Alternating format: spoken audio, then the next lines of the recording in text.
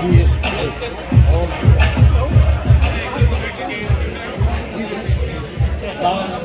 good evening. So much to Joe and the Italian American Foundation for this incredible award.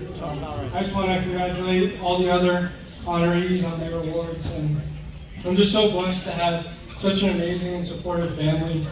I know they've been so proud of all the things my sister and I have accomplished so far, but I'm just as proud to come from a family that has worked so hard and made so many sacrifices so that, so that their families could live better lives.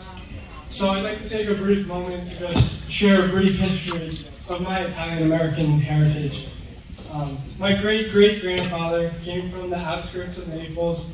He landed on Ellis Island and he uh, landed on Mott Street where he sold fruits and vegetables on a pushcart to support not just him, not just his wife, but his 10 children. And my great great grandfather, he was the first of the 10, and he had to drop out of school in third grade to help support the family. But he uh, he served as a United States Marine. He fought in the Battle of the Bulge.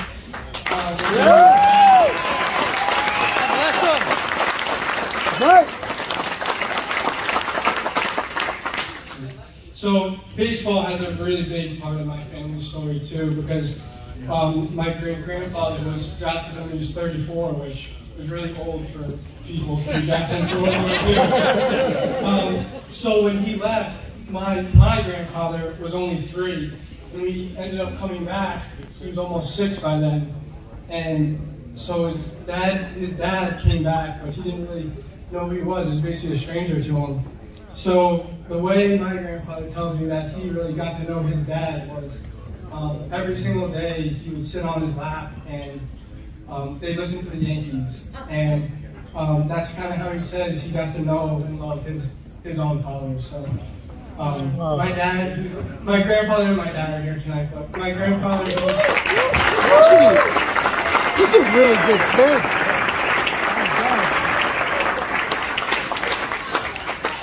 So my grandfather, he also served as a United States Marine, and he worked as a New York City firefighter for over 40 years. Yeah!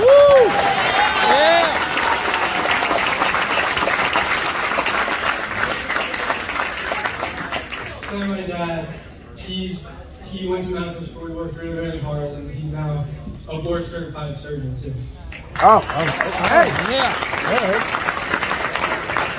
That's So I, I know a lot of Guess that people in this room share similar stories that really exemplify which is really the Italian American dream. But I'm so proud of my heritage because all their hard work, all their sacrifices, really everything they did was for one thing, and that was their family. So um, thank you again. And, uh, Anthony! Wow.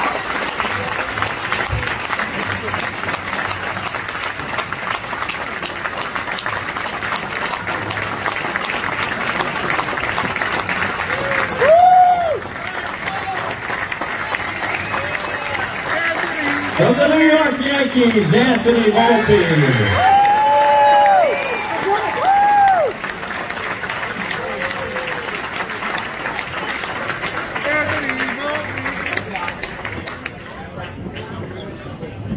Holy shit. So. Anthony Volpe, future short